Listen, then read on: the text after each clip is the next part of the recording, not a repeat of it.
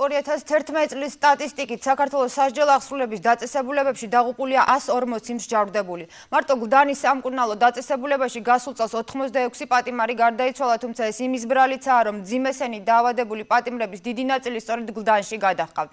სტატისტიკას აგანგაშუა ამ წლის პირველ სამ თვეში 33 პატიმარია გარდაცვლილი. ევროპაში საქართველოს პატიმრების რაოდენობით პირველ ადგილზეა.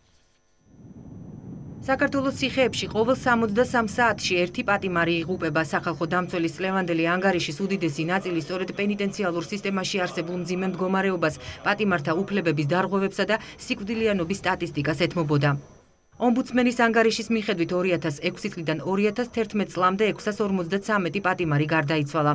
2010 წელს 142, 2012 წელს 140, ხოლო 2012 წლის მარტის ჩათვლით 33 პატიმარია დაღუპული. ამ მონაცემებში ჯერ კიდევ არ არის შესული გლდანის საპრობილეში გარდაცვლილი ზურაბ დელიანიძე და დღეს დაღუპული თენგიზ ბელქანია. მიზეზები არის ძალიან მრავალფეროვანი. ერთ-ერთი ის რომ გვიანდება პატიმრების გადაყვანა სამკურნალოდ. მეორე ის რომ ზოგ შემთხვევაში კურნალობა მისი ხარისხი მოვლის ხარისხი არის არაადეკვატური პატიმრის მდგომარეობისა და ისიც რომ რეფორმა კი დაიწყო მაგრამ დაგვიანებით დაიწყო ცოტა ქაოტურად მიმდინარეობს. პატიმართა გარდაცვალების ძირითადი მიზეზი ავადმყოფობაა ყველაზე ხშირად კი ტუბერკულოზი. სანამ ადამიანი მართლა არ წაიქცევა მანამდე მას არანაირ დახმარებას არ აღმოუჩენენ და სწორედ ესაა შედეგი. ის რომ საპრობილეში ტუბერკულოზი თითქმის ყოველ მეორე პატიმარს აქვს, ეს არიციან?